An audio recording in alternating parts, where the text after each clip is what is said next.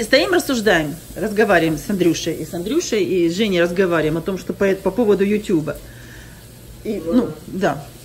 Ну, вот При- я тоже думаю, давно начать. как- Он говорит, ой, как жалко, мы так много были в местах, но мы не, фотографи... мы не снимали, мы фотографировали, и надо это. Я говорю, самое главное, что это память. Вот ты сейчас, вот ты сейчас делаешь, допустим, видео, я, да, везде я.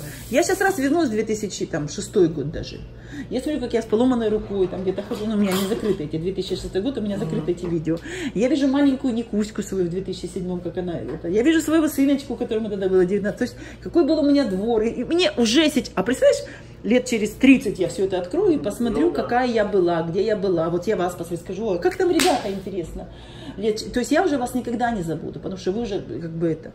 Я где-то там на круизе, я сейчас открываю круиз, и я просто проживаю снова жизнь на круизе. Как это прикольно. Плюс к этому тебе YouTube платит деньги. И плюс к этому, естественно, ты при- придаешь какую-то популярность. Популярность это обязательно новые люди. Если бы не YouTube, я бы не знала ни вас, я бы не знала Наташу, которая в Калифорнии, я бы не знала Лену Подружкину, я бы не знала очень-очень-очень многих людей, я бы Да. Аллочку не знала Стони. Ты понимаешь, как много дает YouTube? Я не сказала еще всех.